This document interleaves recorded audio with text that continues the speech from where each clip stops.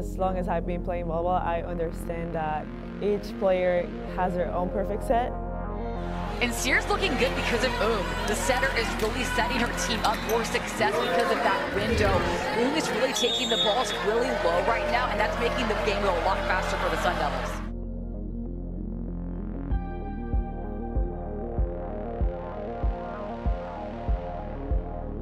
The Sun Devils are an extremely balanced team. One of the best things that Arizona State has going for them is an extremely balanced offense. That goes through every pin and the middles. And a big part of that is because of their setter.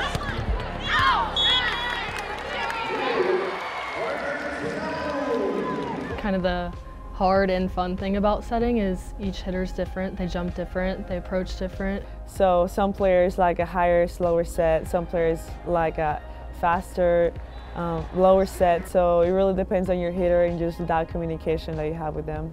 You look at the other side of the net, you see if the middle has shifted one way or the other, if they're dedicating to a certain person. Um, you can see where the defense is, see if they're deep or shallow, um, just decide like to dump. Basically the goal is to get our hitters one-on-one. -on -one. Coming in through the middle, there's only one block up on her. I would love to see Houston throw in another blocker, give her another thing to look at. The pass allows the setter to set anybody in the court. Like in a fast-paced offense, you can set anybody in the court that's in system. And out of system is when the pass is too off that you gotta take it with your platform or somebody else gotta take it, but at the end of the day, you would only have one option or two options at the most and probably won't be able to set your middle. You see a setter set a ball and a hitter gets a kill. Most of the time, it's because the setter got the ball with one blocker.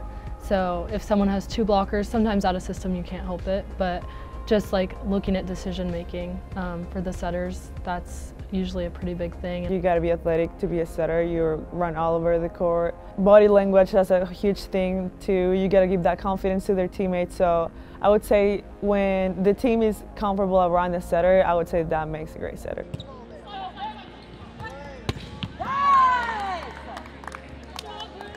Right back defense is really hard. You can get hit in the head if you're not careful a lot.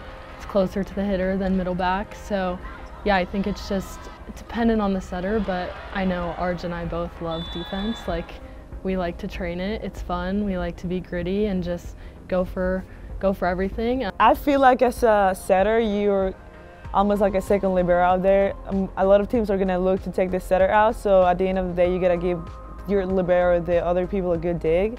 You want the connection with your hitter. Like there's so many things that go into setting.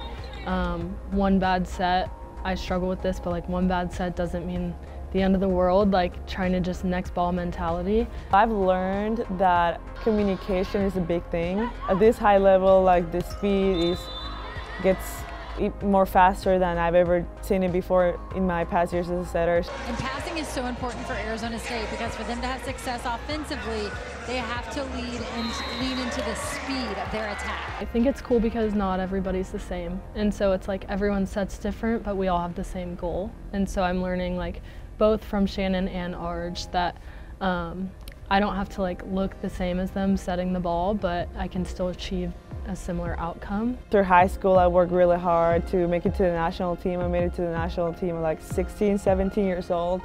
So for sure, making it to that level at uh, such a young age gives you such a boost of confidence. I came into college and most of your teammates, when you go to college, they've never seen the bench. In college, especially in Power 5, any of your teammates have seen the bench before. So I would say my freshman year, I didn't play much, my sophomore year either. So of course that's hard, but you gotta embrace that role of making the other side better. By the end of my last year at Washington State, I just, it was just like two different people from my freshman year to my senior year and I keep seeing just growth till this day. Being here at Arizona State, JJ just pushes me every day and I just love that in film, in practice. He just makes up these new drills for me and Brynn just to get better. Me personally, I didn't start setting until I was 15 or 16. Um, I was an outside hitter my whole life, played a lot of beach volleyball, loved hitting. Um, and then my club coach sat me down and was like, I know it's your dream to go Power 5.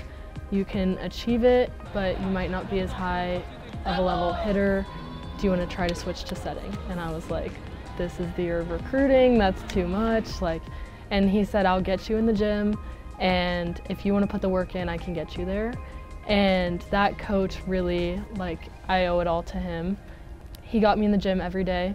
I was in there Christmas Eve, like, really grinding just for a long time. I had to catch up from people who've been setting their whole lives. I had to catch up. I wanted to go D1 Power 5. My freshman year was so hard because I came literally from a whole different country. My English wasn't super good. And I remember Washington State, we used to run our sets in Persian. So I was, I speak Spanish, then I go into this program, they speak English, but we call our sets in Persian or like another different language. This year especially has been challenging because, you know, JJ loves volleyball, he loves new drills, he comes up with new drills out of his head every single night. So you lo I love that I get challenged every day I practice. My teammates challenge me. I think it'll really show how much work we've put in this year in the Big 12, working really hard to get this, this offense. So.